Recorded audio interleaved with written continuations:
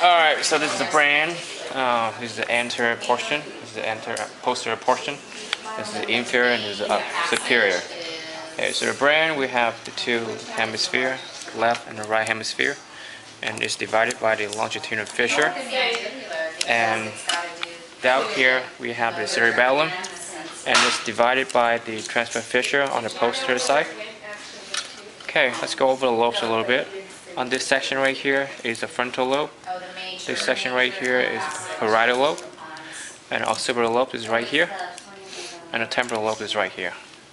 And the temporal lobes and the frontal lobes are divided by the lateral sulcus. And it runs from this section to this section. Okay, it doesn't run all the way 360. Okay, um, this guy right here is your central sulcus. It's a sulcus that runs nonstop from your longitudinal fissure all the way down to the lateral sulcus.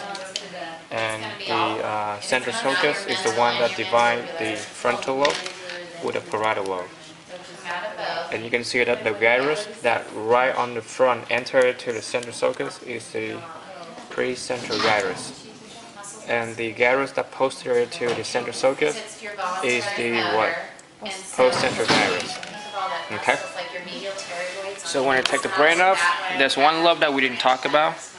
It's your insula. You have to pull out your temporal lobe, and that's right there is your insula, deep inside. And that's for taste. Okay? So that's the, um, alright, by the way, this entire upper portion right here is your cerebrum. Cerebellum's right here. And the outer cortex, uh, that the outer layer that covering the entire cerebrum is the cerebral cortex, which is the gray matter, and that's where the information is being processed. Right, so if I so on this model, we got the uh, sagittal cut of the brain. Right here, when it, this is sagittal cut, and that is your corpus callosum.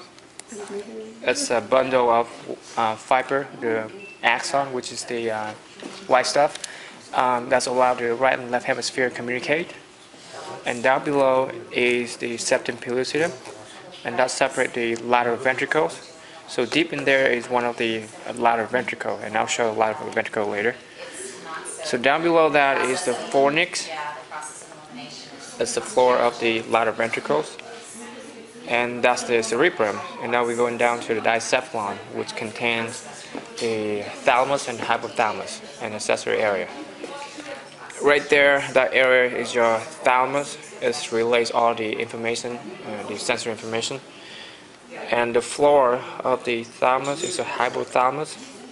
It's a structure that uh, control or regulate both nervous system and the endocrine system. And the yellow, uh, not really yellow, but the round thing right in the middle of the thalamus is the intermediate mass.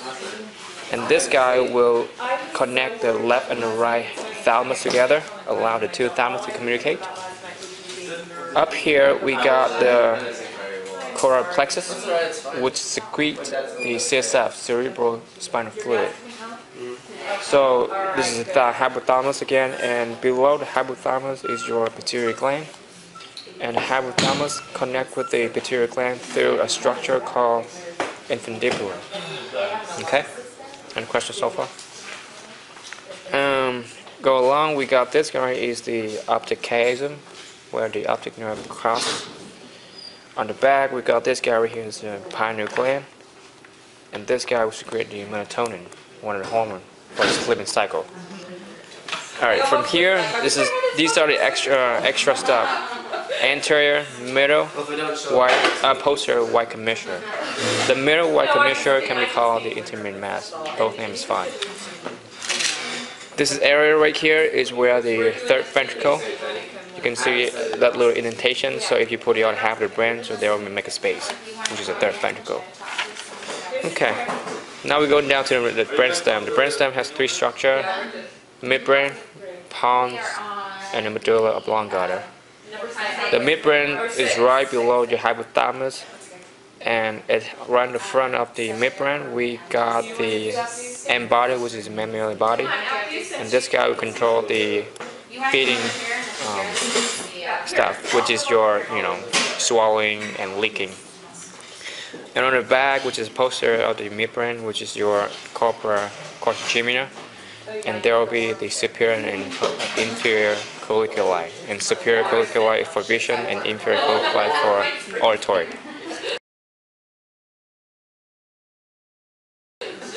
And in the mid portion of the midbrain, we have a canal called um, cerebral aqueduct, or we can call it uh, aqueduct midbrain. Either one's fine. Um, where is that at? Can you find me a brainstem model and bring over here?